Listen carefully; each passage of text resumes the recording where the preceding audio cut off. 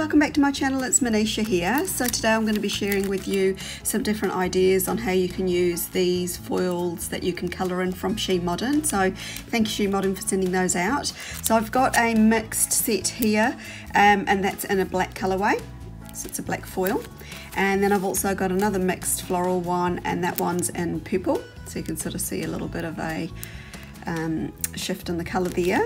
So these ones are designed to be used as coloured in or you can use them as is. So I'll just quickly show you in a pack what you get and then I'm going to just jump in straight with the design. Um, so you do get one sheet, full sheet of um, floral, you know, or whatever pattern you've chosen. So there's lots of different sizes there and different ones to choose from. So you can get single flowers too if you choose um, a sheet that's just got a particular flower. You can get a whole sheet with just that flower and it will be different sizes that you can use in your designs. You also get a, um, a random select um, foil to try out at home and you also get the creative nail art stencil so that's a reusable stencil and a mixing canvas now I have gone over these in previous videos so I'm not going to show um, in detail how that all works but obviously I'll link my um, playlist, She Modern playlist down um, below for you and also at the end of the video. And I do um, suggest checking out She Modern's videos too on YouTube and also her um, website because she's got lots and lots of inspirational videos, loads of different nail arts that have already been done. So um, they give you lots of ideas on how you can use her products. So I'm just going to be doing these on some um, practice nails today, which I've already painted. So I've used a few different nail polishes there, like so. I'm not going to go into detail with colours at the moment, but I will, um, so I've done sort of three on that one there, but I will list the names of the polishes for you down below in the description box. So I'm going to be doing these on um, regular polish but I will be probably using some gel polish to colour in some of these flowers too. But I'm going to be probably topping them all off with just regular um, polished top coat because I know a lot of the ladies um, that follow me do just use regular polish. They don't all use um, gel. So I'm going to be doing that today. So I'm going to speed the next part of the video up so it doesn't get too long. I'll do a voiceover explaining exactly what I'm doing and then I will meet you back at the end of the video for a bit of an oversight of what I've done and a um, what my final thoughts are so sit back relax and enjoy ladies Okay, so first up you do need to apply glue to your dry base and let that completely dry. So it just takes a few minutes for that to happen. Then I'm going to be selecting which flowers I want to use in my design. So that's just a bit of a close-up there of what you get on that mixed flower sheet. Cut out the flowers that you want to work with and I'm going to use a clear stamper just to get the foil actually onto the nail. It just gives you um, a bit more precision on where you want to place it and um, just a lot less fiddly than what normally would be if you're just using your hands. Now I've decided to start on the bottom corner and I am actually going to fill up this whole nail with these foils but um, I just do that off camera and yeah I, I did have a little bit of mishap with this because I didn't wait for my base to be fully dry so yeah my bad on that one now because I've used foils I am using a water-based top coat for these and I'm going to add some little uh, studs, some pastel coloured studs because I thought they'd work quite well with this design. So yeah, a bit of an oversight on my part. I was a bit eager to start with this and I should have probably left this nail to right at the end when it had a chance to fully dry. Now I'm going to move on to the purple foil. So I'm going to be using some gel polishes to colour in and as I said before I will be listing all the um, polishes that I've used down in the description box below. So I'm just using the mixing canvas there to decant um, a little bit of each polish. Had a bit of a mishap with the gold one and it's made a bit of an angry face there so just ignore that. That's not intended for you guys. I have actually cured the gold one the gold glitter before adding the pink. And I'm just doing an extremely thin thin thin layer on there. You can just flip your um, stamp head over just to see what it looks like. Once you've cured that, just add a coat of the um, gel top coat. Now the key here is to go really, really thinly and then just cure that in your lamp for whatever 30 seconds I think it is And then to make them into stickers, I'm just going to add a tiny, tiny, tiny dab of glue. So the glue, just spread it around and wait till it fully dries, then you can just peel them off. So they actually become sort of like stickers. And then you can just place them on the nails. So I decided to start in the middle first, to get the middle one where I wanted it. And I'm just going to press it down gently with my fingers and then I'll place the other two, one at the top, one at the bottom, just in a row, as you can see here. And like before I'm going to add a water-based top coat and then go ahead and add my seche vite. So this is the next design. I'm going to be colouring in these ones with white and I'm going to be using some Sharpie markers as well. So like I said before, the key here is to go really, really thinly with the gel polish. Keep within the foil line, don't go over the foil line with your, um, with your gel. Cure it in the lamp and then add a very, very, very thin layer of gel top coat and cure it. So these are the markers I'll be using. So you can use any permanent marker, you'll get a nice result with those. Fine tip ones, you can work a lot more um, finely, do more intricate designs, and the broader ones, obviously, you've got to just be a little bit more careful.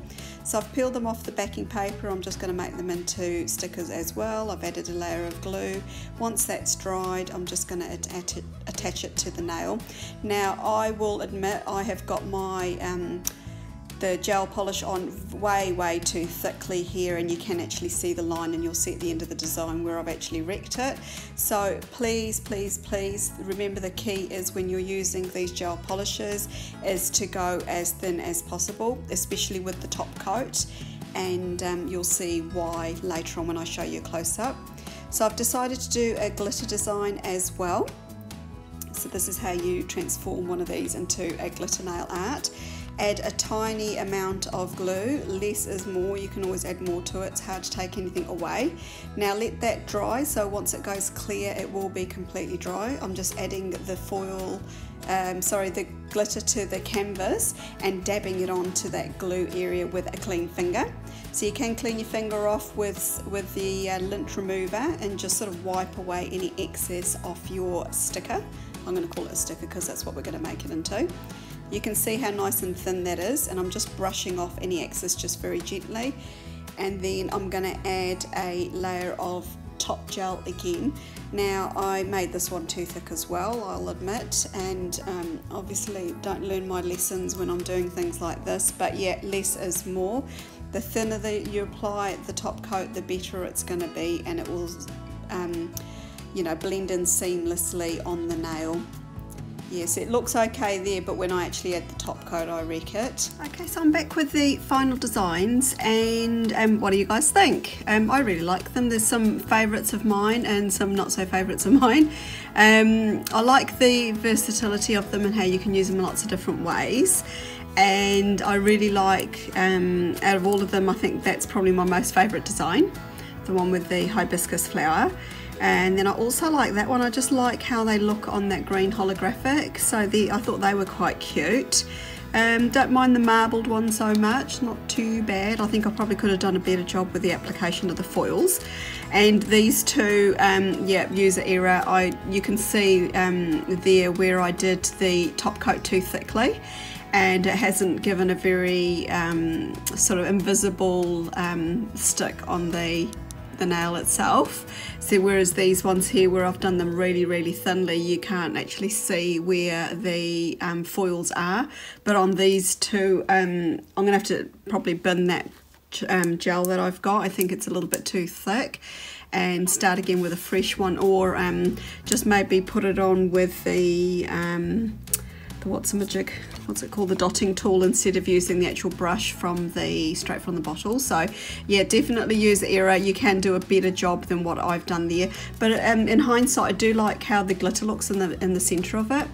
I think um, it's actually very very pretty and it's holographic too and who doesn't like holographic so there you go. So yeah um you know like they're a fantastic fantastic product um, and I've also got a little bit of a um, another surprise for you guys. I'm going to be hosting yet another giveaway with She Modern.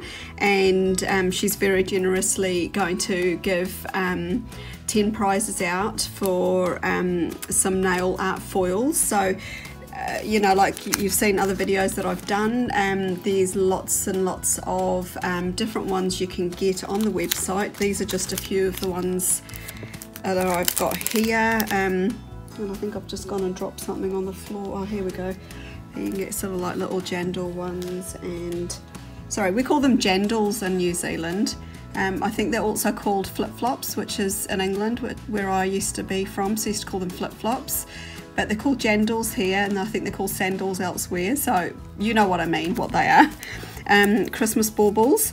Yeah, so there's lots of different ones to choose from. This is just a little um, snippet of what she's got on offer. I mean, there's some of the holographic ones, black ones, purple, blue, pink, any colour you can think of. She's pretty much got it there. Um, she's got some newer ones out that you don't have to colour in you can just use them as is. Um, but if you choose these ones you can use them coloured in or not coloured in so you know the sky's the limit. So yeah as usual there will be some rules to follow when doing giveaways. And um, as always I will list everything down below in the um, the description bar down below. I'm not finding my words today. I'm so sorry about this. I've just had a real hectic day. Um, yeah, so please, please, please follow the rules, but I'll just go over them very, very briefly. Now, I'm not sure what date this is going to go to air, but I will write on the bottom of the screen um, what date the giveaway closes and then I'll do another um, video showing the drawing of the winners. So there's going to be five international winners and five um, US winners. So you will, all the winners will get to choose one pack, one sheet with the um, foils and all the little accessories that come in there too. So that, and you can choose what you want. I'll give you a special code and you pop on the website, use that code and you will get your, um, your prize pack and um, basically you can write whatever you want in the comment section below because I do really love to hear from you. But I also need you to write clearly into me so then I know that you are, are actually entering into the draw as well. Um, can you please make it clear if it's US or international? Um, if you don't put um, either of those I'll just enter you into the international one um, if it is international if you're able to write down which country because we need to make sure that she's got your country's information logged in at the the checkout on the website so you can um, so you don't have any trouble when you're claiming your prize. Um, please be clear with your address when you're popping it in there because she is only going to send the prize out as a one-off. Um, if it doesn't get to you because of the incorrect address and things like that um, do you know like I'm sorry but you know she will only send it once to you. She's had trouble in the past with people putting incorrect addresses and um, unfortunately she's had to send prizes out yet again and again and um, that's something she's not going to do, which is fair enough, you know, like it's up to the person that's claiming it to be really clear about where it's got to go. Um, obviously, you've got to be subscribed to my channel um, to um, enter, and I will check um, all entries and um, validate them. So if I don't see that you're subscribed or you've got your subscriptions on um, private, um, I can't check then to see that you are actually subscribed. So, you know, just make sure you've got it on um, public. Um, also check out YouTube's um, She Modern YouTube channel too. She does a really good range of different you know tutorials there lots of different ideas and stuff. Um, be over 18 years of age and or get parental permission to take part. And I do need winners to contact me ASAP to claim their special code and that will have to be done by email but I will um, obviously put that information in on the prize draw um, video for you. Um, and yeah apart from that that's all you need to know. Um, definitely check down below in case I have forgotten anything but I think I've covered it all. And apart from that good luck everybody and thanks for stopping by. I hope you all have an absolutely fantastic day. Bye for now